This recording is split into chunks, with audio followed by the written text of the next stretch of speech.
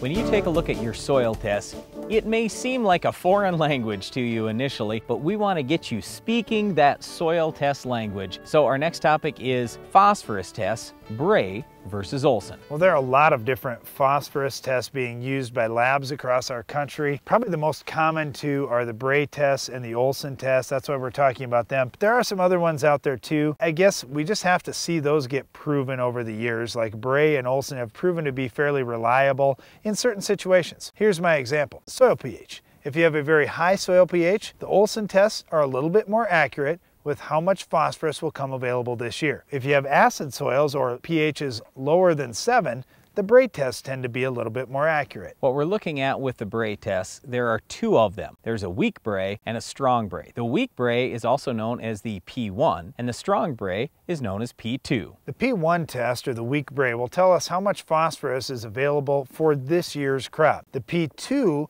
is the total phosphorus.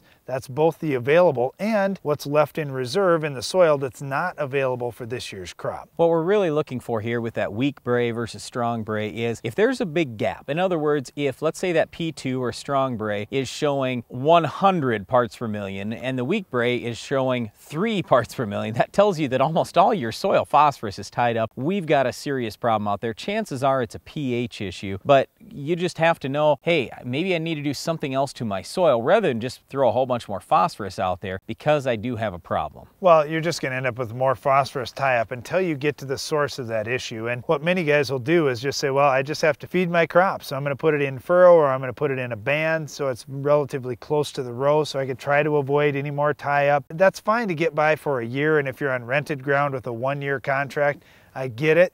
But long term on ground that you own or are going to be farming for a long time, you've got to start looking at what is the cause of that phosphorus tie up in my soils and start addressing it. Because like you were saying, Brian, just to your example, if you've got a whole bunch of P2 phosphorus out there, why not try to see if you can release that phosphorus over time and get a bunch of phosphorus that you've already paid for that's already out in the field to come available and come into your crop. Before you make a fertilizer recommendation for yourself on your farm, we just advise you take a look at how much your crop is actually going to remove. There is the free Ag PhD fertilizer removal app. You can plug in any crop that you've got and what your yield goal is, and it will tell you how much total phosphorus you need. Then you can take a look at either the Olsen test, if you have higher pH soil above 7, or the weak Bray or P1 test, if you have soil pH below 7, and then that'll tell you how many parts per million are available. Well, you've got to relate parts per million here to the pounds per acre we told you you needed for your crop. So how do you make that adjustment? If you have a soil sample that is 6 inches inches deep, that is representing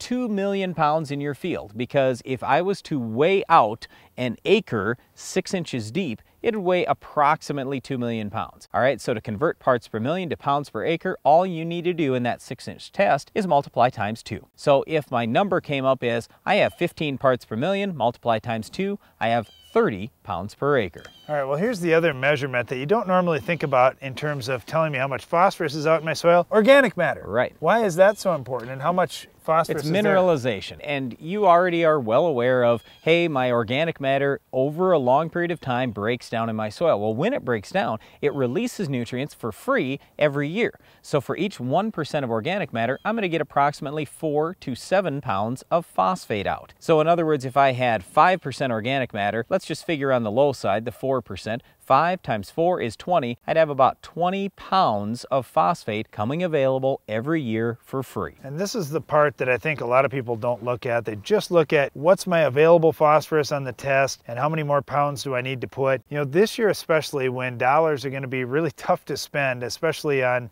on the last little bit of fertility that you need, Take a look at that organic matter in your soil and then think about, wow, look at all that that I'm getting for free. You're gonna consider that in, all right, I don't need to apply 100% of what my needs are. The organic matter mineralization is going to release some of that phosphorus, but then think about it this way. I've got to increase that organic matter level over time. Hey, one other thing I guess I'd mention here too, we, we talked about how many pounds does the crop need, how much the soil has already, how much is gonna come available through mineralization. All that's great to talk about, but let's not forget that there is most likely going to be some of that phosphorus phosphorus you're counting on, some that you maybe applied, getting tied up. So phosphorus is one of the nutrients that a lot of people like to overdo a little bit just to make sure they have enough available for the crop, and I get that. The issue is Phosphorus can go with your soil if you have soil erosion. So what we advise you to do is put your phosphorus in the soil at least an inch deep, but preferably six to 10 inches deep. Then it's safe. It's never going to leach. Phosphorus is virtually immobile in soil, but if the soil erodes, like I say, and that phosphorus is on top of the soil, your phosphorus just left the field. So that's one risk. The other risk is tie up. Either way, I've got to make sure that I have enough and I've protected my phosphorus. So a lot of people like preventing tie up, they'll use Avail, for example. That works quite well. We've used that on our farm. We continue to use that on our farm. Agro-Culture liquid fertilizer, they have products. Pro Germinator, for example, right. it has a protected phosphorus source that's not going to get tied up. Right. So talk to your agronomist about ways ways you can protect your phosphorus, but all we're trying to say is you've got to have phosphorus to raise a good crop and you need to understand how to read that Bray and that Olsen test. Well, one other thing you need to understand to raise a good crop is how to control our weed of the week. We'll show you how to stop this tough weed later in the show.